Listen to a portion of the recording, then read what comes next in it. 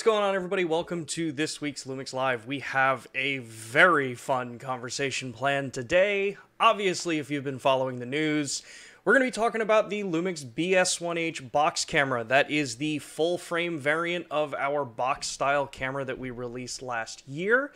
And uh, yeah, there's a whole lot of exciting things to talk about this. Uh, I'm going to be joined by Matt Frazer in a few moments, uh, where you know we're going to be taking all of your questions. We know that there are a bunch of people that have been commenting out on the Facebook groups, in our Instagram channel, which, as a nice little kind of segue there, if you're not following us over on Instagram, make sure to go over there, take a look, follow us on Instagram because I do also monitor the chat over there when we're not doing these live streams.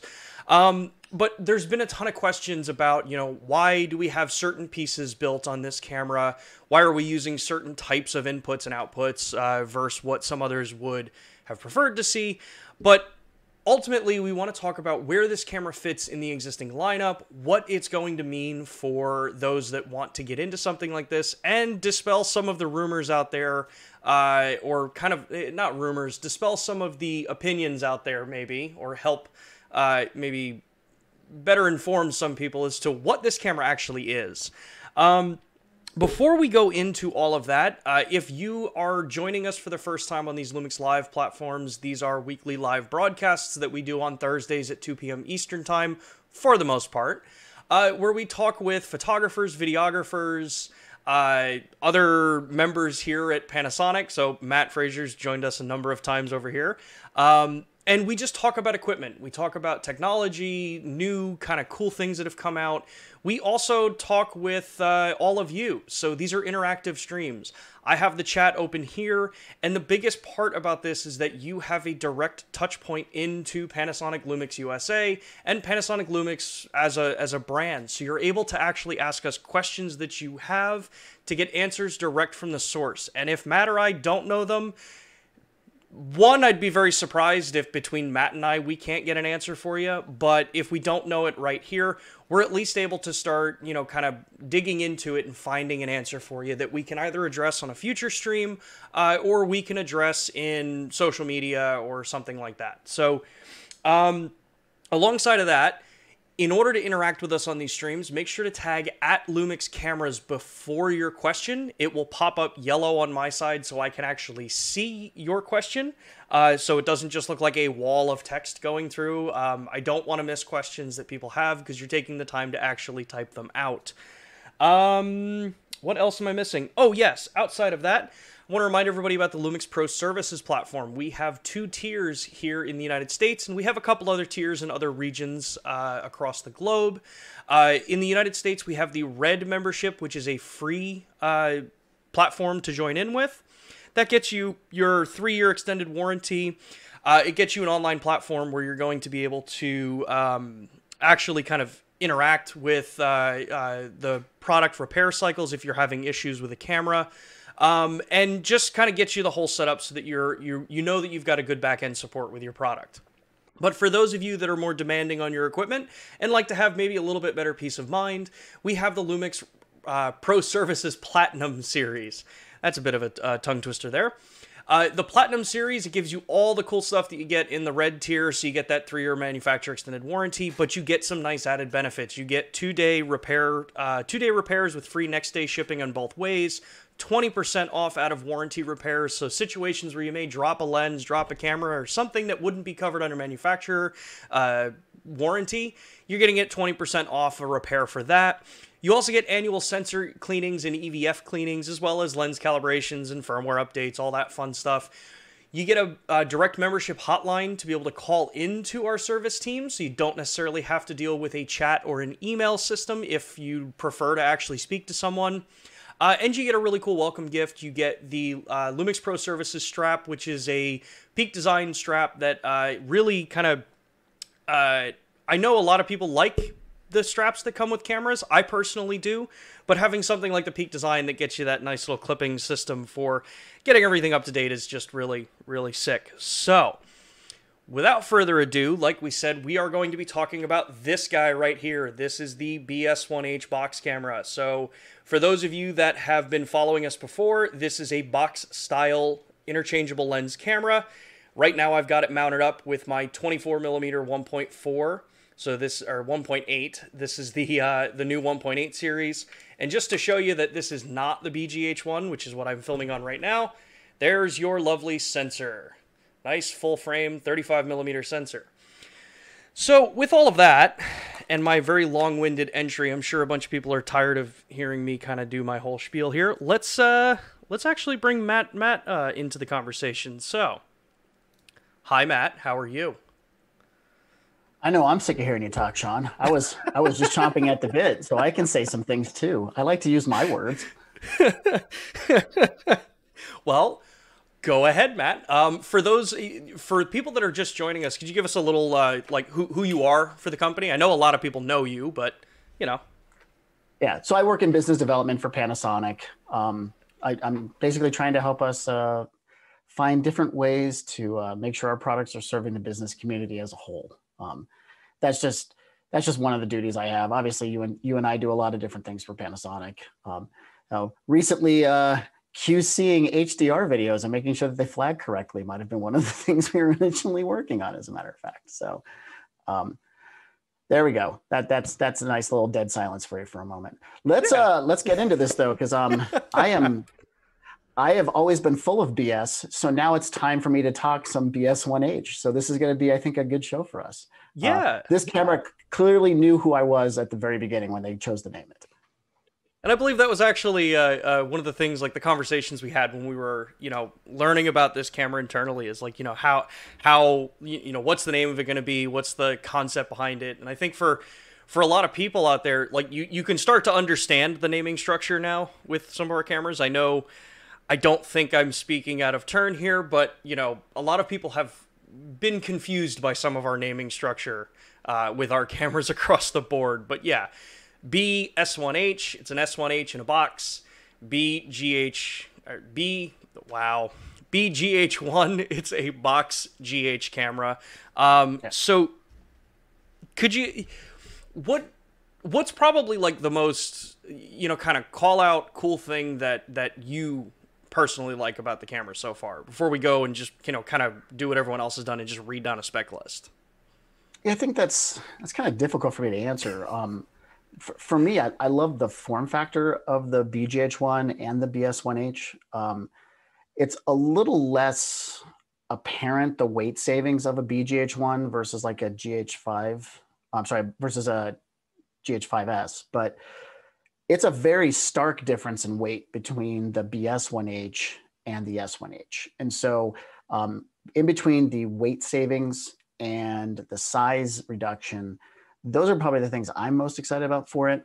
Also, for rigging purposes, um, I, I, think for anybody who's shooting gimbal, I think they're going to absolutely love this camera because, I mean, it is a perfect square when it's you know left, right, top, bottom. It's nearly a perfectly squared cube in terms of its overall shape. Would you say and that so, it's a box? I, you could say that it is a box, although I don't know why people are so afraid to say the term box. I've heard people call it a cube. I've heard people say it's a block. Um, I I don't I, I don't know why people avoid the term box, but yes, it is absolutely a box shaped camera. So um, from a, from a gimbal perspective alone, I think it's just amazing how much easier it is to work with this product than it is uh, a mirrorless style or a DSLR style camera. Um, you know, that's probably the number one thing for me. Uh, I get somewhat frustrated balancing out an S1H, um, especially if I'm at a retailer because I, you know, Sean, you and I will have people like we were at Cinegear and some guy walks up to us with a Zhiyun crane, and you know, like I'm the expert on every gimbal that's ever been made, and I'm trying to help him balance out his gimbal. And the reality is, this gimbal was just entirely too small for the camera he was shooting, and so we couldn't scoot it to the right, you know, far enough to handle the grip, yeah. um, in order to offset the weight. Uh, I don't have to worry about any of those issues with the with the BGH1 as long as my or the BS1H as long as I keep the lenses properly sized. You know, I don't I don't know yeah. if I'd want to combine a 70 to 200 f2.8 constant on a gimbal and expect it to balance out too well. But we have lots of lenses that make a lot of sense on gimbals, and this body is perfect for them. Yeah, and you know, I, we we were talking about this before, and I think that's actually you know kind of one of the one of the points that actually has me really, really excited about this camera is that, you know, I, I love my S1H. I love my S1. Everyone that's been following us knows that I love my S1R. They're amazing cameras and they're great for what they're built for. But I, you know, I, I use this gimbal here, it's uh, RSC2, um, that I use for, for a lot of various different things. Um, I am by no means a, a filmmaker, but being able to just slap the the uh, BS1H onto that thing and then know that our entire f1.8 series of lenses, all I'm doing now is just changing out the focal length that I want. I'm not having to have to rebalance this thing. I'm not having to, you know, worry like, well, am I going to have to, you know, how, as you said, how far over can I push this camera and can I actually get it balanced or am I going to be stressing out the motors because, you know, I can't really get it perfectly balanced. I, ultimately, I think it means a lot for people who want to actually be able to get incredibly high quality, but don't necessarily have the money or the desire to dump a ton of money into a higher end gimbal because these things get expensive. Um, yeah. And this one's not that expensive of a version. Um, I think it's nice, especially because it has like you know the active track functionality with a bunch of our cameras. So it's a pretty sick little, uh, pretty sick little addition there. Yeah, I also think when you look at the price of the camera, you know, it's a it's a thirty five hundred dollar retail. Um, sorry, thirty four ninety nine and ninety nine cents. Um, so for that price point, to have access to an SDI port, uh, well, let's start with you have a full frame sensor that can actually shoot in open gate, which there are cinema cameras that don't have the ability to do open gate on a full frame sensor.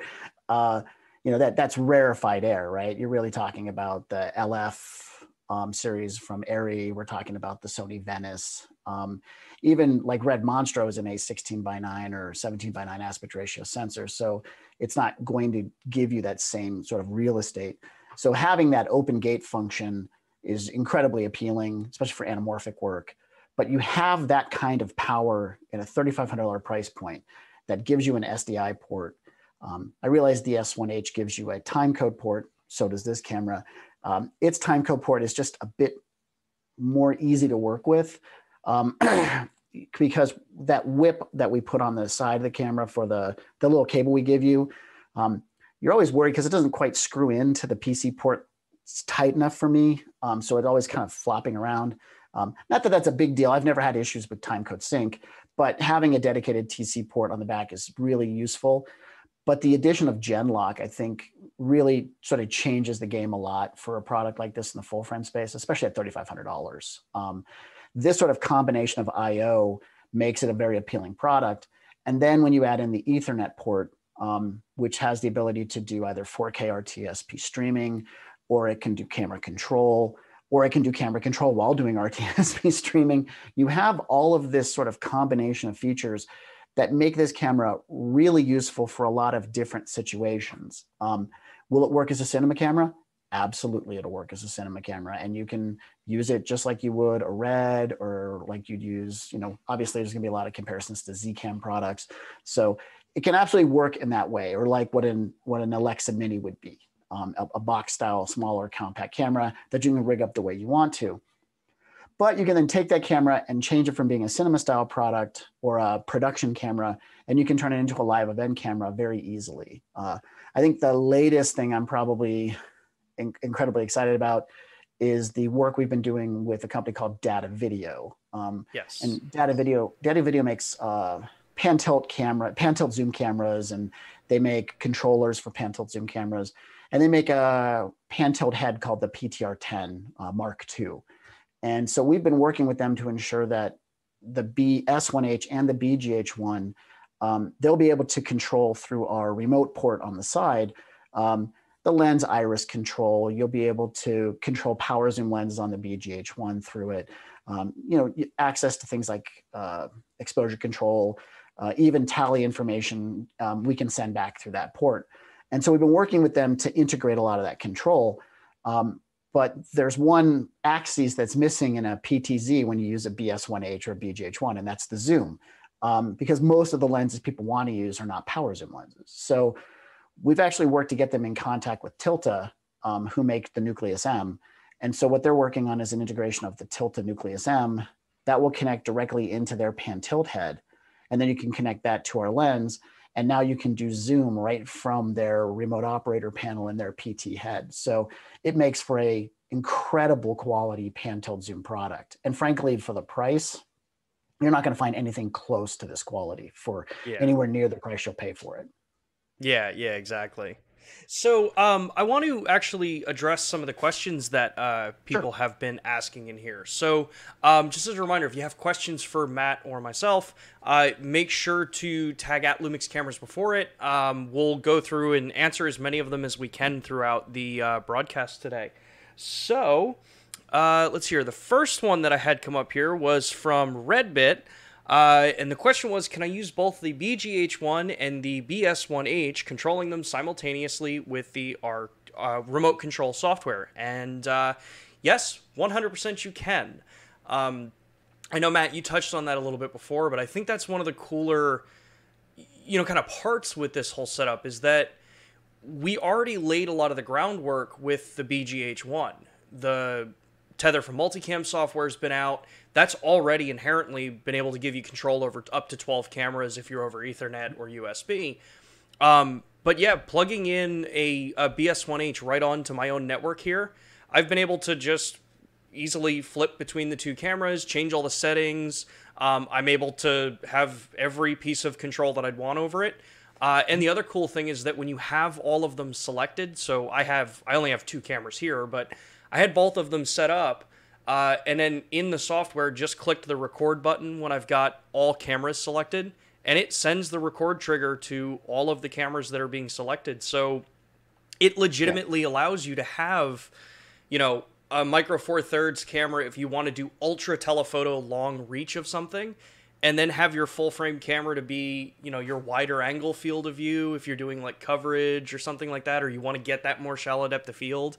It it's yeah. a pretty sick combination or even the opposite way where you use the BS1H as your close-up cameras, so you get that really shallow depth of field on you know your isolated shots, your your two interv- your interviewer and your interviewee, while you're on multiple BGH ones for covered shots, two shots, things like that. I mean, uh, there's a lot of benefit to doing it. I, I do want to make people aware that you're not going to have quite all of the same uh, batch control that you would have if it was all BGH1 because there are some resolution feature differences between the two cameras. Some things we can do with one that we can't do with other. You know, notably 6K can't be done with the BS1H or, or can't yeah. be done with the BGH1. So um, you're not gonna be able to batch populate all the camera settings to all of them simultaneously, but you can do certain selections batch to all of them and then individually adjust all of them, you know, on the on the network as needed.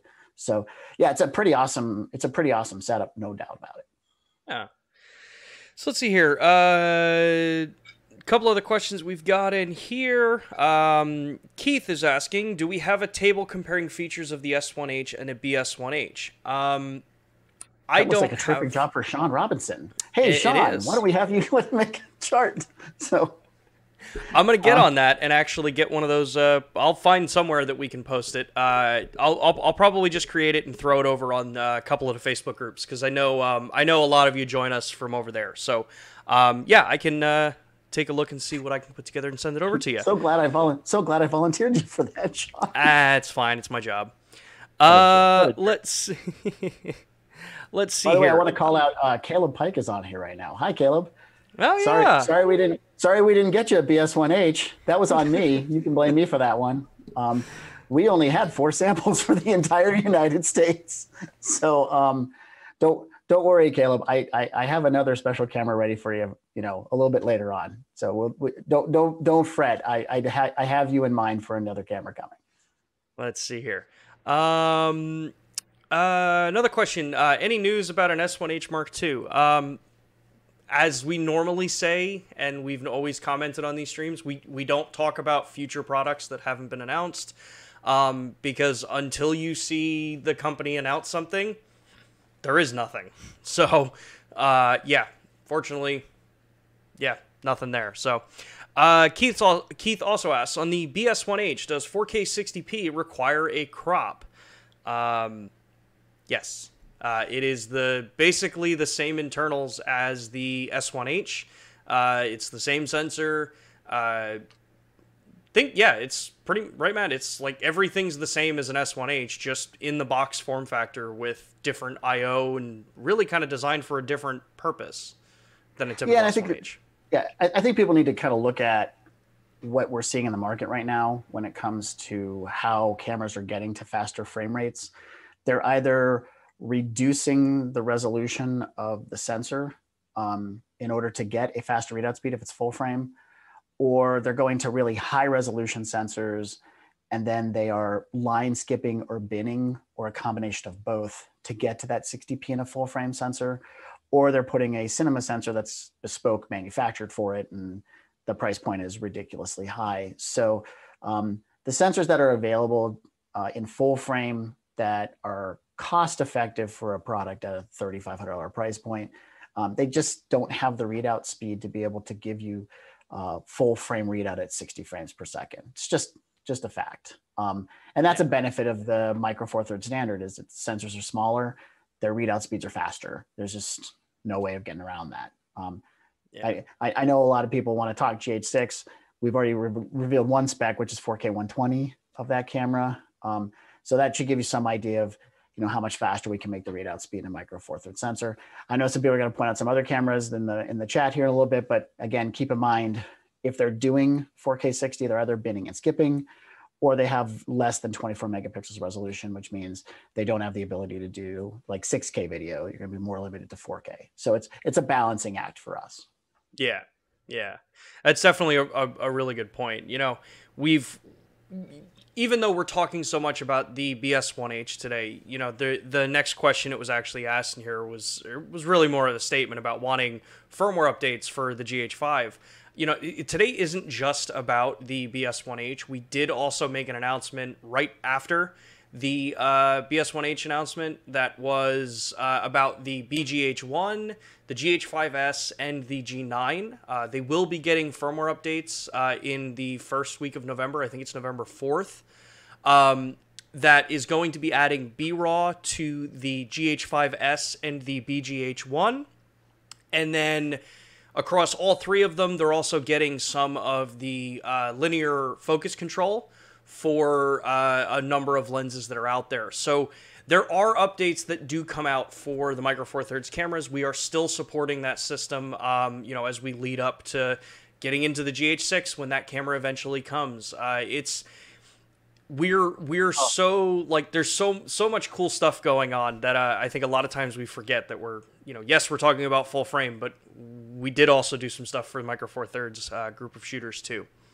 Today. Well, and remember with the GH5 Mark II when we first launched the the linear focus adjustment and the ability to choose the degrees of rotation, we just did a ton of firmware updates to lenses too. So if you haven't been updating your lenses um, and you're planning on getting a BGH1 or you already have a GH5 Mark II or a G9, uh, you're going to want to update those lenses so you can take advantage of the new lens throw options because I, I oh, yeah. they're they're they're my some of my favorite unique things we have in the S series product, and I'm so happy that it's moved its way down to G series. So I, I think they'd be happy with it. Same so here. Same here. On. Yeah. Um, let's see here. Um, so that actually addresses uh, Timothy's question as well. Um, another one is Will Lumix be working with Atomos for touchscreen menu controls? Uh, I know that this has been brought up a couple of times uh, in some of the people that have been reviewing, talking about uh, using the Atomos monitor since you can do ProRes RAW with the Atomos monitor by taking the raw output signal from the uh, BS1H or a BGH1. Um, I don't know if you have anything to add for that, Matt, other than um, I think you'd have to check with Atomos uh, as to the status of things like that. Yeah, so there's the, the there's what's theoretically possible, right, and then there's what is technically possible. So um, the control of our camera on the BS1H and the BGH1. Let's let's keep it BGH1 right now because this is not officially a part of the BS1H right now. But um, with Portkeys, the BGH1 Um, they're utilizing the USB C port on our camera, connecting it to the Portkeys monitor, and then um, they can control the camera through that USB port. And they can do things like pull up the camera's menu and control the whole menu system through touchscreen. They can do autofocus through the system. And then they can adjust things like ISO, iris, um, shutter speed, things like that um, through that remote port. Um, it is technically possible with some of the Atomos products to use that remote port that's on the side of the camera and do some basic control things like uh, f-stop, shutter speed, things like that. Um, that would be something that is technically possible. And you know, I've had obviously we've had conversations about this. Um, it, it, it comes down to you know, Atomos is a very busy company. A lot of companies are wanting to add features like RAW, and so I think some of this is going to come down to you know, how much time can they dedicate to make it work for that, which um, we'd love to see them do. And frankly, we don't blame them if they can't get it done. That's completely understandable. Um, and they may not find that that's a useful enough feature to, to be worth to, to implement. And that's, again, I love Atomos recorders. so I, I have, I'll never criticize the decisions they have to make because they, they run a company that um, has to work with a lot of different camera manufacturers. But keep another thing in mind, they really don't have a USB port either. So there's not really a way for them to be able to integrate that USB control that we that we have with Portkeys. So um, these are things we've always talked about, and, and I'm always in conversation with the guys at Atomos. And um, you know, at the end of the day, I'm I'm sure if enough people request it and there's enough of demand, they'll happily do what they can to integrate at a minimum to the remote port. Yeah, yeah. I think that is a perfect answer for a question like that. um, let's hear. Uh, JC's asking on the BGH1 and the BS1H, is wireless streaming a possibility at some point via firmware, or are there hardware limitations preventing it? Um, I know we've asked for it. Um, so when you hear when you hear um and Sean shift uncomfortably in his chair, um, that is like the worst poker tell I've ever seen in my entire life. This is so, why I don't gamble.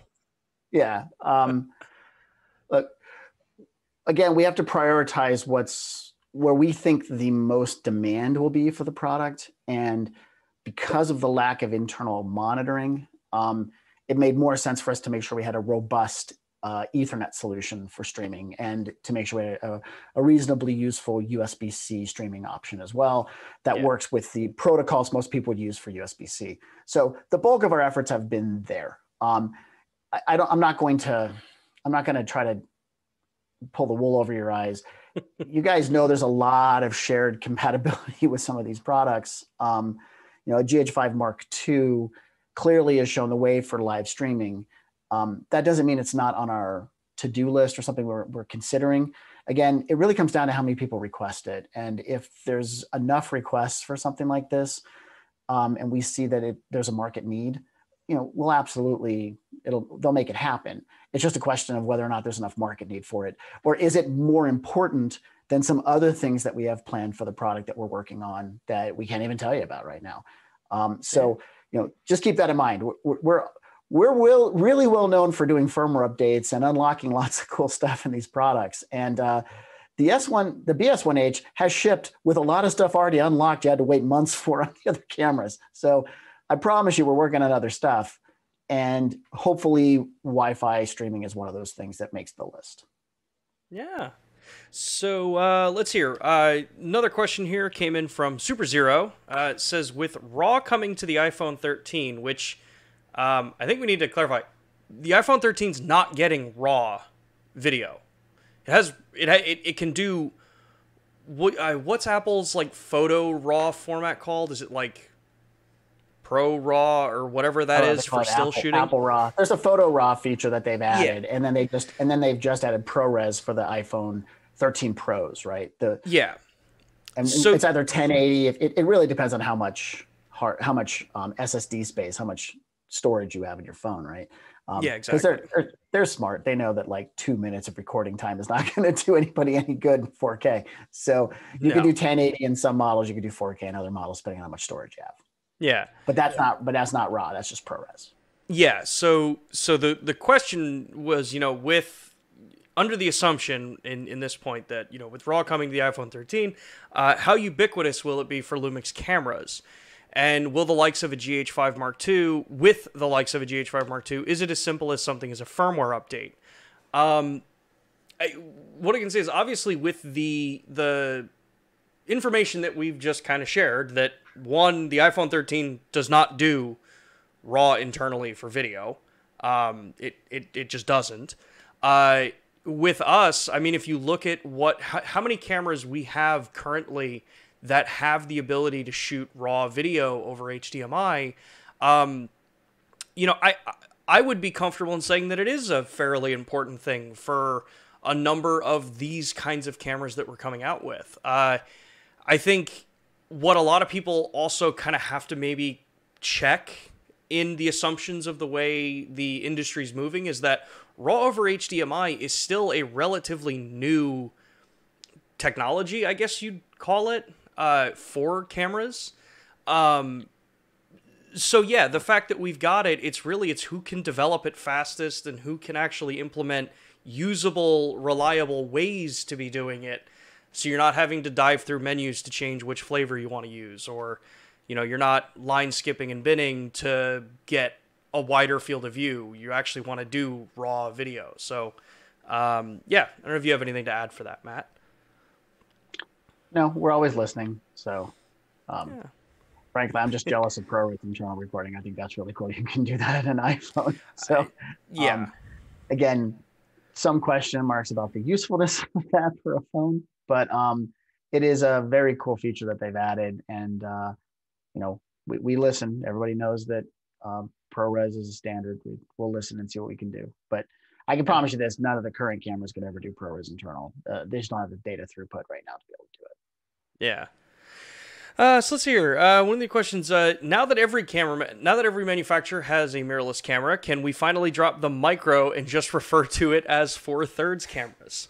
So, um, how how many of you have ever heard of the the lens mount that was available before micro four thirds?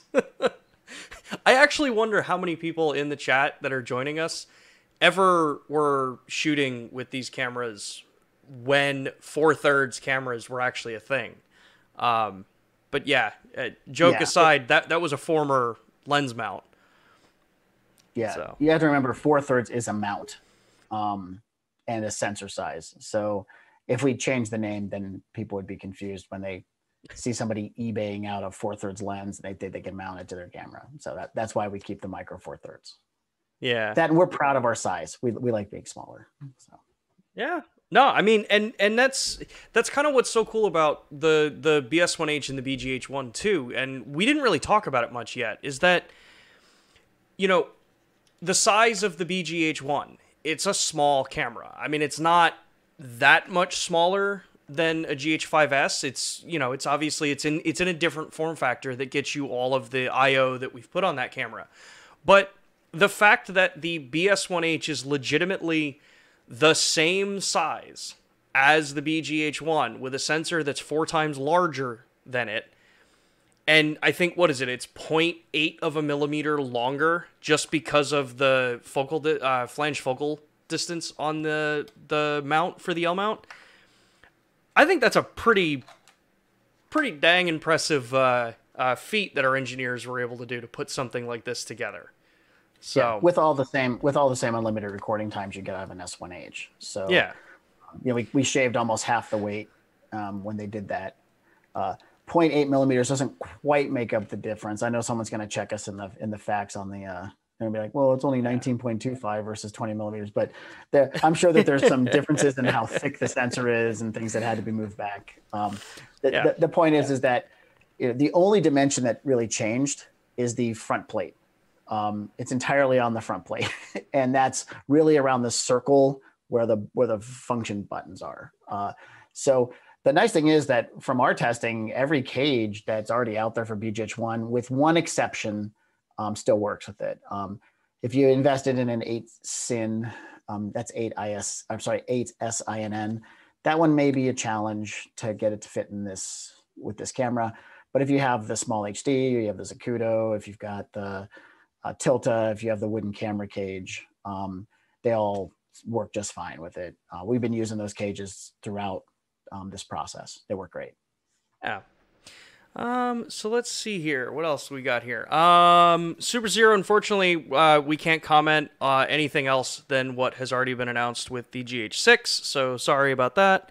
Um, John FD Times is asking Is there a full frame anamorphic D squeeze on the BS1H? Since you're the anamorphic guy, Matt, you want to take that one? From FD Times. John Fauer? Is that John Fauer?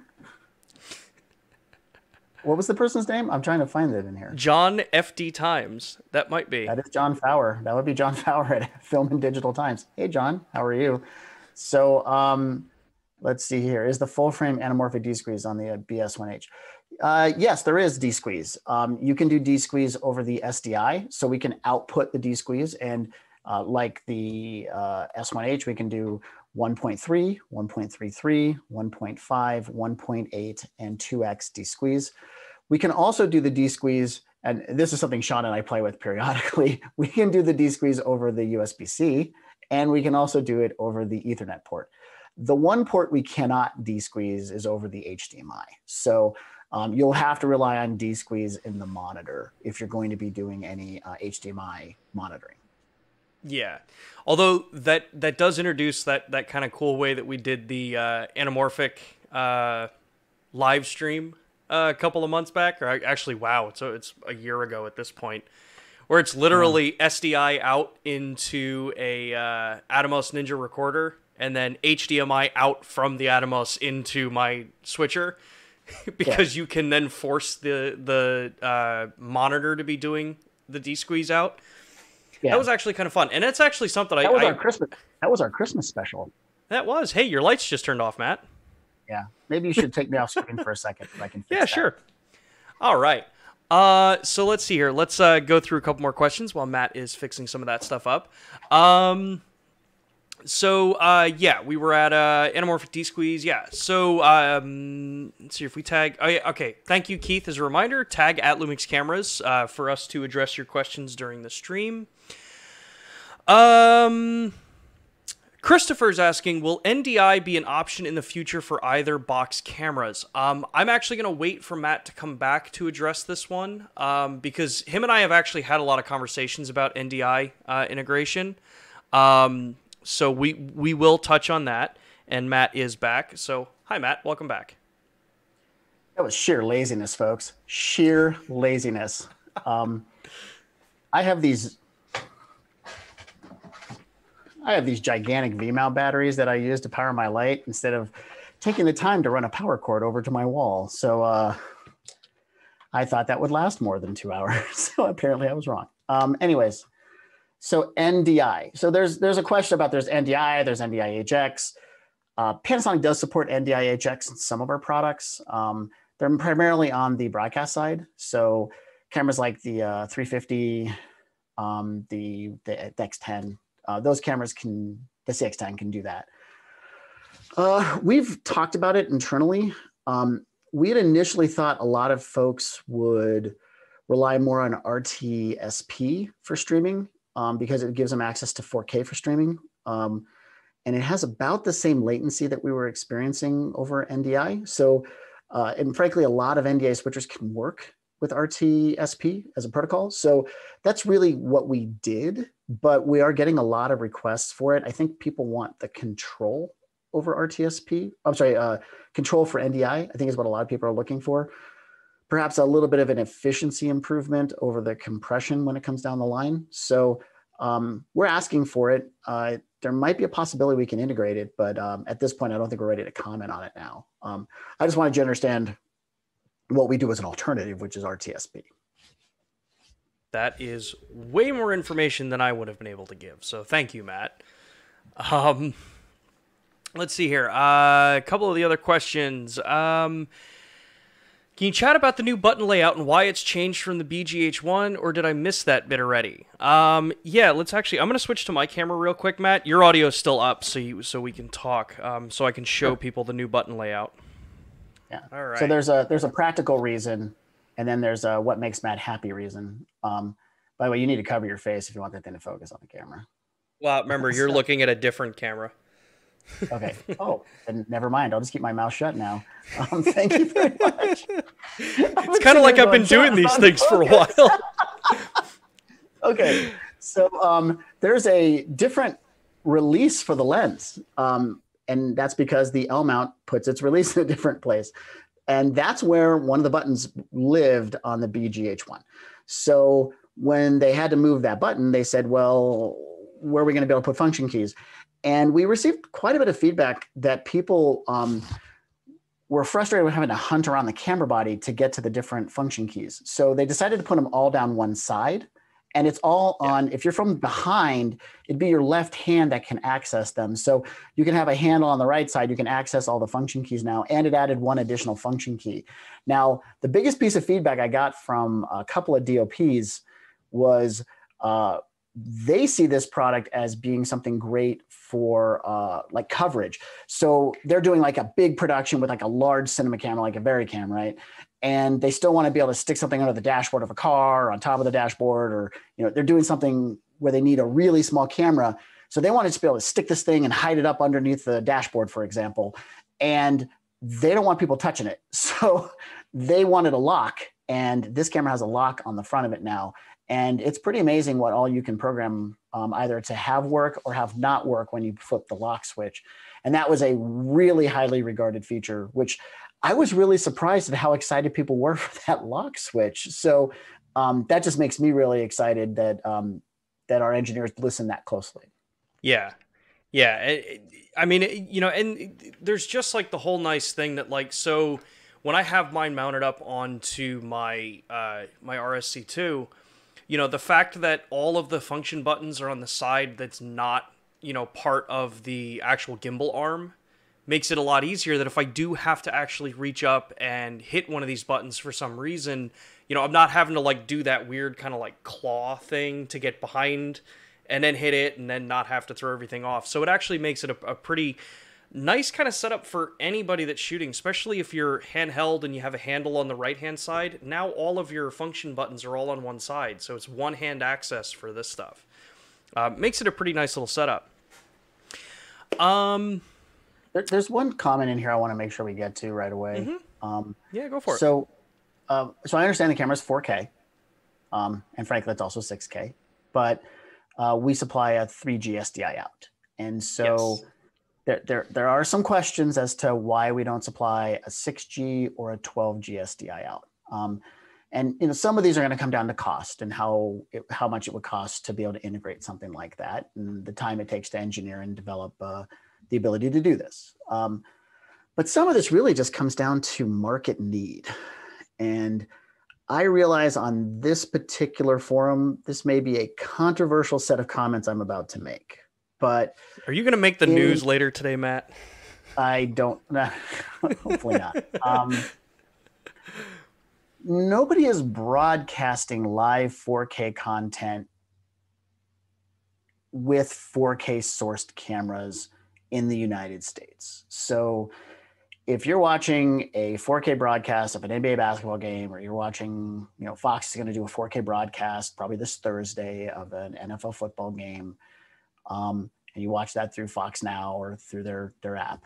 Um, they're actually sourcing that from 1080 content over a 1080 SDI stream, and then they're doing an up conversion, and then they're doing a color correction to create their their HDR files. Um, the infrastructure for live broadcast is so expensive to update that nobody has endeavored to make any meaningful investment to be able to do 6G or 12G.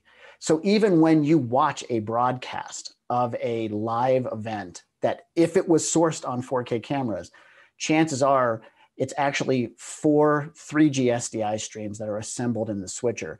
And so a switcher that can accommodate 32 cameras, you're going to cut that in by a quarter. So you're only going to be able to accommodate a quarter of as many cameras when you do 4K live output. Now, I'm not talking live streaming per se, I'm talking about live broadcast. And so they're the number one use case for SDI.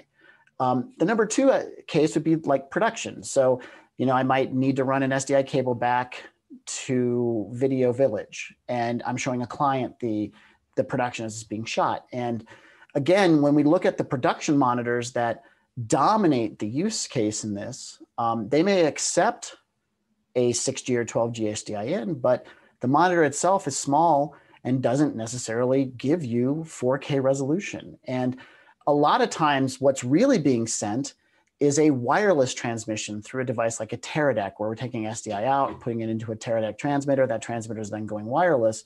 And up until recently, 4K transmitters that accepted SDI and then did it wirelessly didn't really even exist. So the the need for a 6G or 12G SDI signal is for a very very small subset of the community that's out there using these products right now. Um, again, would we like to have a 12G SDI out so we can use different external recorders and give you a raw output? Of course, we would we would love to do that. But how many people really need that? And how many of them would be willing to pay the extra cost increase it would take for us to be able to apply it? So um, I hope that explains it.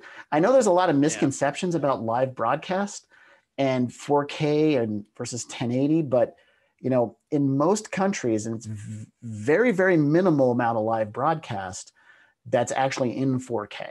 And so that's why it's just not in there. Um, so go ahead and flame me right now in the comment section and let's go ahead and see what people have to say.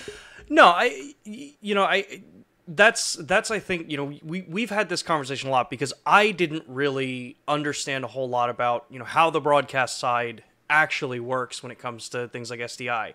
I know that, yes, there is the, the nice benefit that it's a locking port. You're not going to have to worry about it coming out of the camera. And that was kind of one of the biggest, uh, and long cable runs, really yeah, long cable yeah, runs. very long cable runs.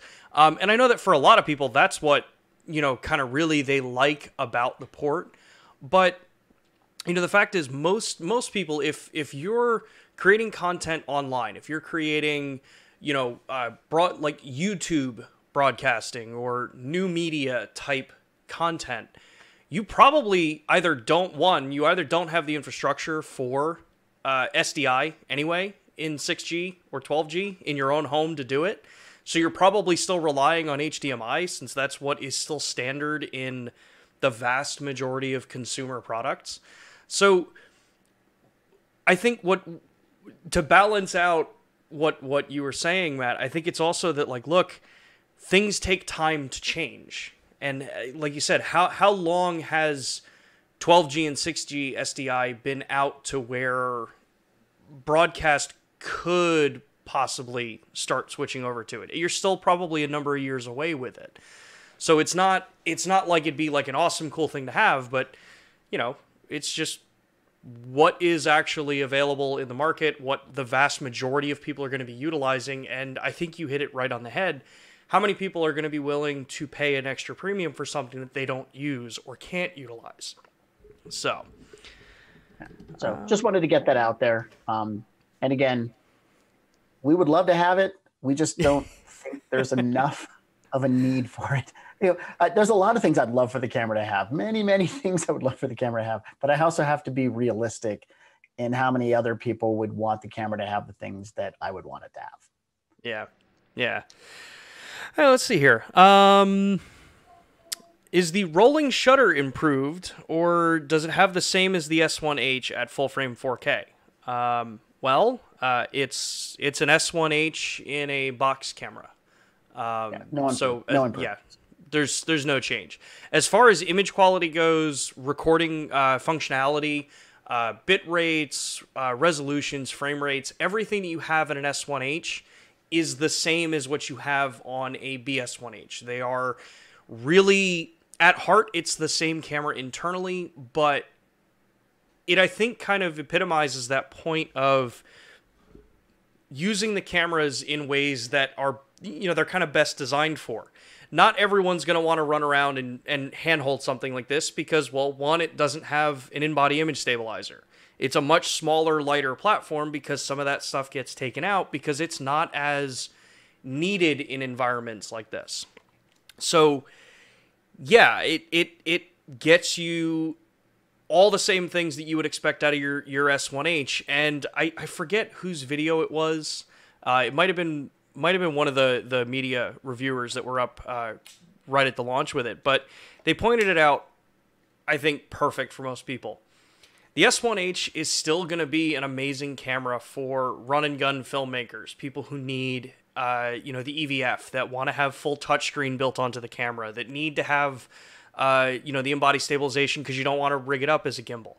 That's still going to be the better camera for you in most cases, but this one, if you need, if you want crazy long battery life because you've got the VBR style batteries, if you want to be able to have, um, you know, a camera mounted onto a vehicle, if you want to be able to have it fit in locations where you can't really fit an S1H, then yeah, this is infinitely going to be a better product for platforms like that. Like after that report that came out, uh, it wasn't really a report, it was the comments that Apple made about motorcycle vibrations uh, destroying optical uh, image stabilization systems in mobile devices. Yeah, these are much better to put on vehicles that or, or anything that's going to vibrate at a high frequency, even if there's not a hundred percent, you know, effect on all products. Like I, I'm much more comfortable putting a camera like this and strapping it to my motorcycle than strapping an S1H. Plus, it's half the weight, so you know that's definitely a nicer thing to deal with too.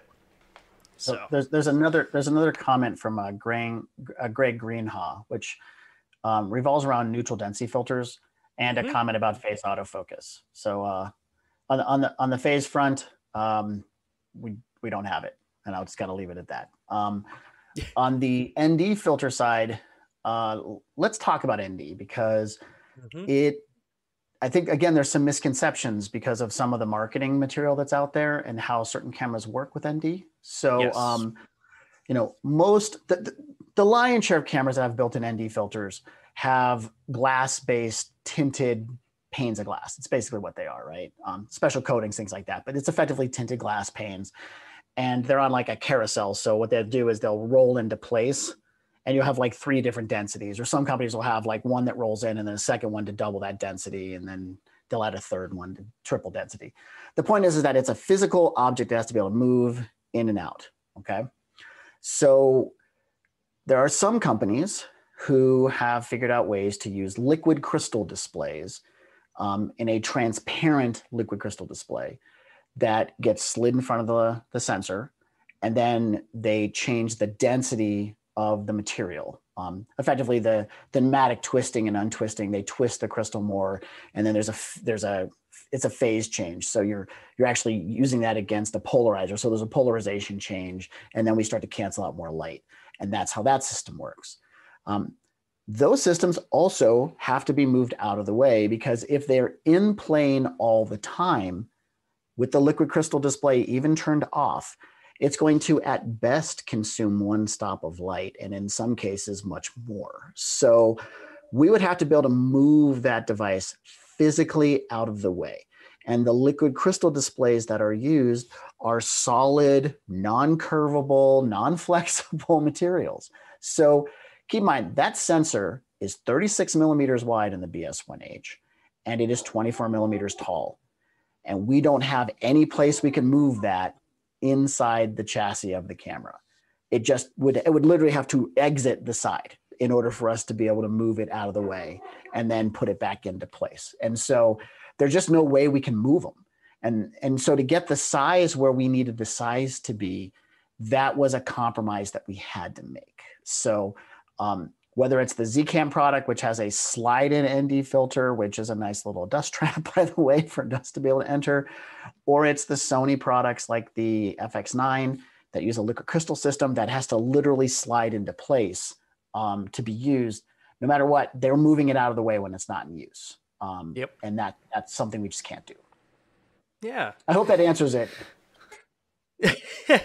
no, I mean that that that I think is like the the best explanation I've heard of it. You know, it's it's cool to to have the the goal that you want to have NDs into these ultra small cameras, but at some point, um, you know, the technology is just not caught up to where we want things to be. Um, you said it before about how many things we'd love to have in these cameras. I know you and I talked about it at, at length when we were talking about the even the BGH1 when it came out if that thing had if if there was technology available to do internal ND filters, that would be awesome. That would be amazing. And I'm sure everyone in the chat would love it and then find something else to have a problem with because it's the internet and it's just how the world works. Sean, I don't I don't believe anybody on this call would believe me if I expressed the amount of creative thinking that you and I have put into ND designs for the camera. And um, it's just not going to happen. We've really yeah. thought, trust me, I have been as far outside of the box on neutral density filter as any human being that you have ever met. And I'm sure Sean can attest to this. And oh, yeah. It, it's just not as simple process for a camera that's this small.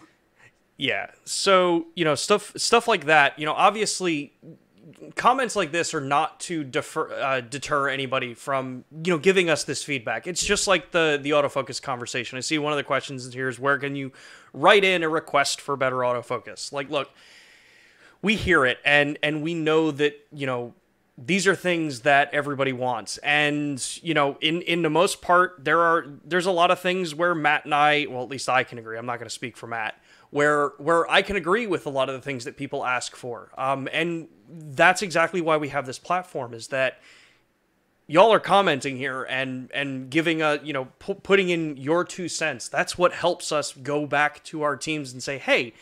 You know, this is something that a ton of people have been asking about. Can you guys look into it and see if it's something that actually can be done? So it really helps us get this stuff um, set up. So let's see here. And, and, and, and by the way, we have made pretty radical improvements in our autofocus system over the years. And oh yeah, the B the BS1H uh, again, it's all going to be left to interpretation. It also depends on what frame rate you like to shoot at. You know, people who shoot at 30 and 60 frames a second probably perfectly happy with the autofocus system that exists. 24 frame is where kind of our Achilles heel would be, um, just the way the system has to work. Um, so just just keep that in mind. Some people are going to be perfectly happy with the autofocus because the frame rates they're shooting at. Um, yeah. And a lot of broadcast is going to be, especially like YouTube based broadcast, is probably going to be at 30 frames or 60 frames. So um, Sean and I are at 60 frames right now. That's that's what we shoot at for this stuff. Um, yeah. So yeah, you know, it, it just really depends on your needs. Yeah. So let's see here. Uh, Victor was asking, what's the price point of this camera? So um, the BS1H is thirty four ninety nine and ninety nine cents. Correct, Matt? Repeat the question one more time. Sorry, I, am not as the good price. as you. I can't walk and chew gum at the same time. Thirty four ninety nine and ninety nine yeah. cents. Thirty four ninety nine ninety nine. Um, let's see here. Uh, Alan points out Tilta just brought out the Mirage for remote VND on matte boxes. I did read about that. Um, I think a couple people were having a conversation over on the Facebook group about that, which is something uh, you know to take a look at. There, that's, that's what I think polarized, is. Yeah. That's two polarized glass panels with a remote control device similar to a nucleus. Let you just kind of pulling it. Rotate yeah, them. It's yeah. a cool. It's a very cool solution. Um, again, could, couldn't couldn't integrate it inside our cameras, obviously. Yeah. But uh, I think what Alan's pro- professing is that it's a nice alternative um, if you needed something with some variable neutral density. Yeah, yeah, and you know that that's that's I think a, a, a nice thing too is like just that yes, this is uh, this is something that we'd want to eventually be able to put into the cameras, but there are so many good options out there that you know no company I I I, I, I think it's safe to say that no company is sitting still on any of these kinds of ideas. You know, everyone wants to be the first one to you know start miniaturizing hardware much faster. I mean, it was it's crazy already to think that this is the same internals as the S1H minus the stabilization unit um, that you've got, you know, that you've got in the same exact platform as the BGH1, which is a micro four thirds sensor. So that's already a huge sizing down of general technology. Eventually, you start seeing things catch up uh, more and more. I think, um, you know, you just got to give give good technology time. Uh, when whenever Panasonic decides to deploy things in our cameras, we typically wait until it's actually like a viable solution and not just like something out on a whim. You know, maybe it's gonna work. So, you know, you get really good reliability with our stuff. So uh, Scott Warren made a very interesting comment, which has to do with how good our long GOP C4K yes. 10 bit holds up at 150 megabits. Um, Sean and I are not going to have an answer as to what our engineers did to make that work. Uh, those guys, Magic. those guys obsess over encoding. I mean, there's literally like a staff of engineers whose sole responsibility it is is to design encoding technologies and then patent those encoding technologies. Panasonic has historically created more patents per year than any other manufacturer. Um, and so you have entire staffs that are out there looking for ways to improve compression algorithms. Um, yeah. Frankly, the H.265 is shocking to me how well it holds up as well in the cameras. So oh, um, yeah. I, I thank you for the comment. I wish I knew, but temporal noise reduction algorithms and things like that just do not get me all that excited. And when they try to explain it to me, I have no idea what they're talking about nine times out of 10. Yeah. Um, so let's see here. Uh, oh, let's, let's, talk about uh, Christopher's question um, about using gyroscopic information. So, yep. Um, you know, it, it, would be interesting if we could, if we were to want to integrate a gyroscope in the camera to be able to do that. Um, you know, we've looked at what some other companies are doing with that. So, you know, one challenge is you're gonna have to crop the image a little bit. So it, it would require some thought in the capture phase, right? To make sure that you don't shoot too tight to make that work. Um, but yeah, we're, we're well aware of other companies are doing, and we, we find it fascinating. And I'm sure that we're looking at stuff like that right now. Um, we, we certainly requested it, and we've we've pointed them in the direction. They know exactly what's going on with it. So um, I can't promise anything, but we are well aware of it. We think it's cool stuff. Yeah. So um, let's see here. Uh, I did want to address this one uh, from Super Zero. Says uh, your explanation about mounting motorcycle mounting cameras on motorcycles. I thought that was the reason the GH5S existed without IBIS. So now the BGH1. Does this mean the GH5S will not have a successor? Um, so that's a it's that's a bit of a loaded kind of question because one, like we said, we can't answer questions or comment about futures of products or things like that. We just don't have any answer with that. Um, but know that basically the BGH1 don't think of it as necessarily like say a replacement to a GH5S in the same way that the BS1H is not a replacement for the S1H. They sit side by side with each other in a lot of ways because you've got cameras now that can work incredibly well for very different applications. Um, in my example there of mounting a camera up onto my motorcycle, it's going to be fairly similar with cars. I mean, you know, you've a lot of people have seen for many years that you know shows like Grand Tour and Top Gear always had you know GH cameras. They had you know other kinds of cameras like that in the cars when they're shooting. Well, when you can switch into something like this that has your SDI, that has gen lock, that has time code, it makes the shooting more efficient, much easier. Where it doesn't mean that the other camera still doesn't have a place, it just means that this is the better tool for the job. And while, yes, a lot of the evolution of mirrorless cameras has been get a camera that can be very flexible for both sides of the industry, for both photo and video, as the hybrid mentality there are still a lot of cases where having a dedicated tool that has the proper IO, the proper build quality, the proper design is still going to be the better choice for you. So the BS1H and the BGH1 in an automotive sense, I think are going to be like some of the perfect cameras for it because you're not, especially the BS1H, because you're not increasing your size compared to a BGH1 if you're already deploying a Micro Four Thirds platform. Now you've got a full frame platform that is the same exact size for 90% of the time, the same cages, uh, and you're getting that up to 6K recording. So post stabilization is going to be super easy because you've got more resolution to work with. Um, yeah. That's my so, little spiel on and, that one. And I guess before we talk about it GH5S replacement. Let's let's get the GH6 out first and see what that thing can do. Yeah. So until we until we even know what that camera can do, I'm not even thinking about a GH5S or 6S or GH-TK421. I have no idea what we'll do. Um, at, at, this point, let's just wait and see what the GH6 has to offer before we start thinking about an S variant of it. Yeah. Um, Here's one for you, Matt, because you and I were actually talking about this earlier. We talk about a lot of things, it seems, that end up getting brought up on these chats. It's kind of like we listen to what people say and prepare for certain conversations. Um, yeah. Michael Lee asks Is the lens mount stronger or more rigid for PL adapters like the wooden camera one? uh, like wooden camera than the S1H. Uh, I see that there was a break there and a continuation for the question. Could you enlighten us about what's so special with the mount on the BS1H and the S1H? I'll, I'll, I'll enlighten if you can show. So, um, yeah.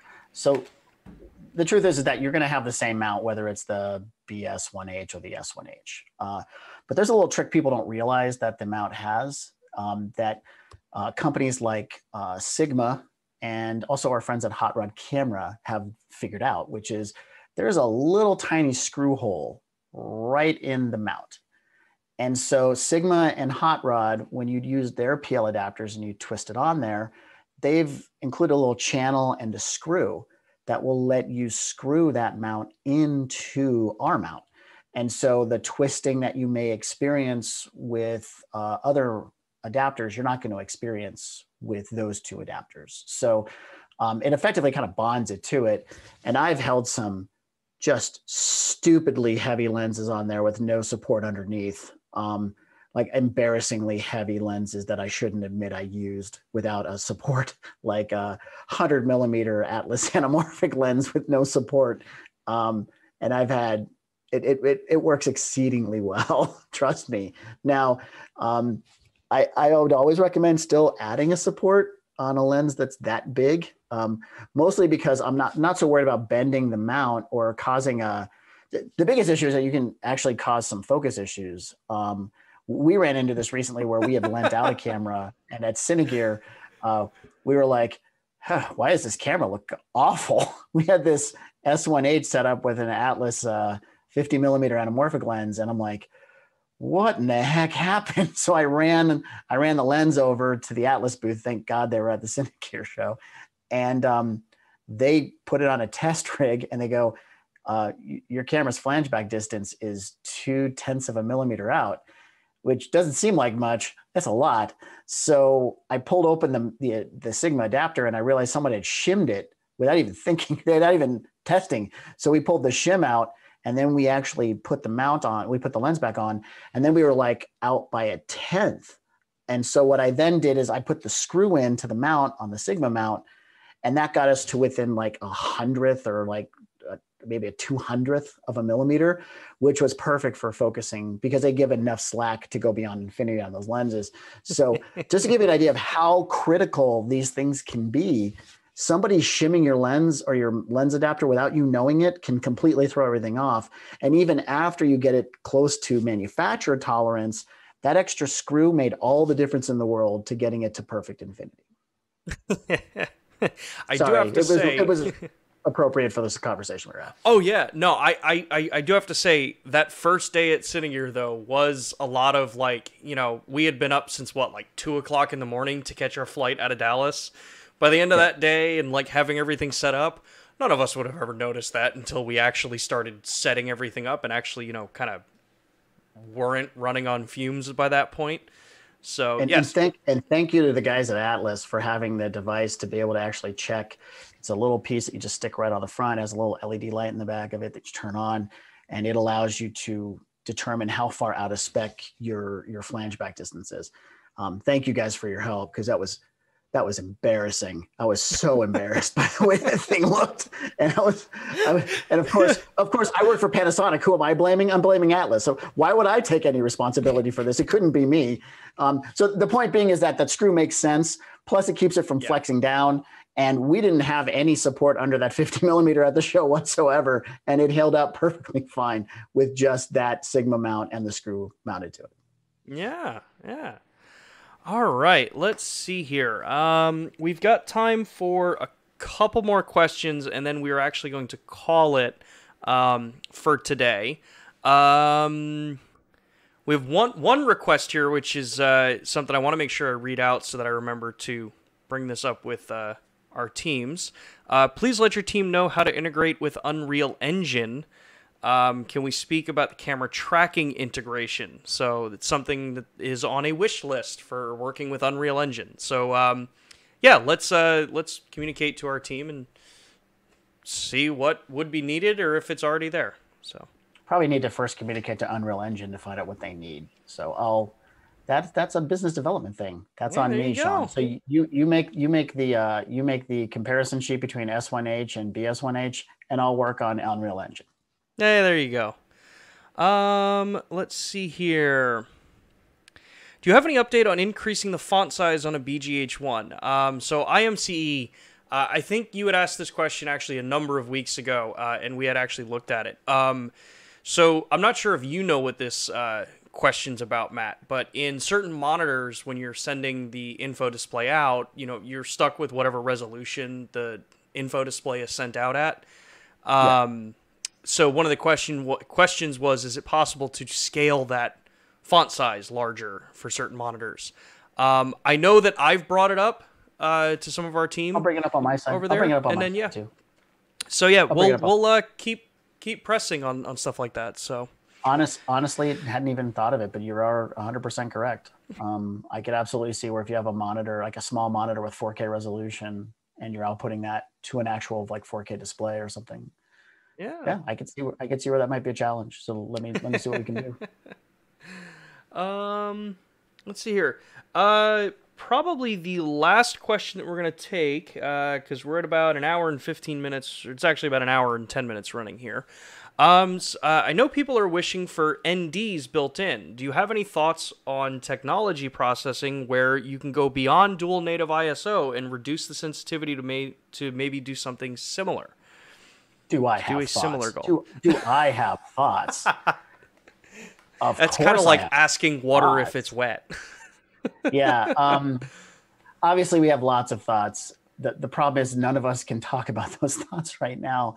Um, and, and frankly, it, it's something that everybody's working on on the sensor side. So Oh yeah. um, I'll just leave it at that. But we absolutely have thoughts, not just us, but everybody who's making sensors have thoughts. And there's a lot of people working on different solutions. Um, we're probably still a few years away. Uh, and then just one last thing I want to make sure we comment on, which someone asked in the comments, uh, Mhm. the screw hole on the BS1H and the uh, the S1H. Uh, this is a real challenge, guys. Every time we pause before we say the name, is we're really just trying to remember which one we're talking about at this point. All these names are pretty close. Um, so actually, that screw hole is also on the S5. So Yes. uh, you won't find it on the S1 or the S1R because they were designed before that specification changed to the L mount. Um, you literally had to submit a, a, sub, a submission to alter the mount had to be submitted by somebody and approved. I don't know if it was Panasonic who did it. I don't know if it was Leica. I don't know if it was Sigma. Somebody submitted it and it had to be approved by council. Um, so it was approved, but it only appears on newer cameras. So the S5 has it. Um, the first camera to get it was the S1H. So I would assume everything L mount from Panasonic S5 or sorry S1H and newer will get that. Yeah, and and I think actually at that point, if it's actually part of the mount specification now, you may see that start to carry in with every L mount camera, but you'd have to check with with those other, Other cameras cameras. as well. Um. All right. Um. Oh, here's one, Matt. We actually heard this at the trade show a lot. Uh, any chance of getting focusing squares like his VariCam? Oh, please keep asking. Ask, keep asking for that, and keep asking for the EL exposure tool, please. Um, we would we would love to see both of those added. Just keep asking, please, please make us think about it. Um, Yeah. because we, we, we're we're equally as big of fans of those features as you guys are.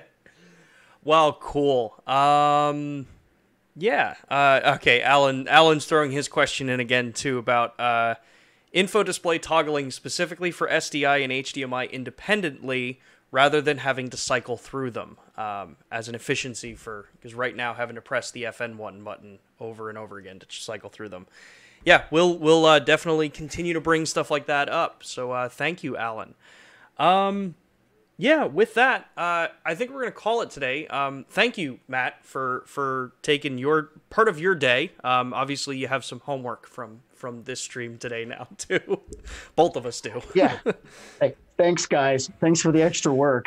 I'm I'm- obviously I'm joking. That's what that's why we love these shows. And thanks, Sean, for hosting this every week. Um, uh, you have you've carved out quite a nice platform. I think it's very unique from other manufacturers. So um, We're trying. I love the fact we get to share. I love the fact we get to share stuff with you guys. I wish we could share more, but um, uh, it's it's great feedback we get from all of you out there. And frankly, you're what make Lumix Lumix. So just keep asking for features. Keep getting frustrated because it's your frustrations that get us frustrated and help us to move forward. yes, that is that is probably uh, that's that's a you know what? I'm just gonna shut up. I'm gonna go with that one. That one's cool. All right. All right, everybody. Well, again, Matt, thank you so much for uh, for joining us. Um, I want to remind everybody here that um, where is it? There it is. I want to remind everybody about the Lumix Pro Services platform. We have the Lumix uh, Platinum, Lumix Pro Services Platinum and Red tier. Wow, I am totally tongue tied today. The red tier is our free membership that gets you your three year manufacturer extended warranty, uh, gets you an online uh, platform for being able to track and uh, monitor your repairs and your services. Then we have the platinum level, which is the paid level, gets you your three year manufacturer warranty extension. It also gets you uh, free next day shipping and two day turnaround time for your repairs, 20% off out of warranty repairs annual sensor cleanings, EVF cleanings, lens calibrations, and firmware updates, as well as that direct hotline into Panasonic Lumix. Uh, if you are interested in either of these, you can either take a look at lumix-pro.us if you're here in the United States, or you can take a look with the QR code that is up on your screen now. If you are joining us from outside of the United States, you can just take a quick Google for Lumix Pro Services uh, and you'll be able to see what's available in your region. Each region has slightly different requirements for the different tiers that they have out there, so make sure to consult with your local region as far as what's available. Outside of that, thank you everybody for joining us. Thank you for the questions and all the conversations that that everyone had in the chat. Um, reminder we will be live again next uh, next thursday. So next thursday at 2 p.m eastern time. Uh, i'm going to be live with carissa dorson again to talk about the uh, video piece that she shot on the bs1h uh, and be able to answer some questions about that. This entire month is going to be devoted to BS1H, so we will have more streams coming out throughout the end of the month. If you haven't already, throw a like uh, on this video, subscribe to us if you've enjoyed the content here. It helps me out tremendously in being able to bring you guys more content and newer content. If you're not already doing so, make sure to head over to our Instagram page and give us a follow over there. That also helps me out, and that's also one of the areas that we're going to be uh, having more ability to just keep in in contact with everybody outside of these weekly streams. So with that, thank you everybody, and I will see you next Thursday at 2 p.m. Eastern Time. Take care.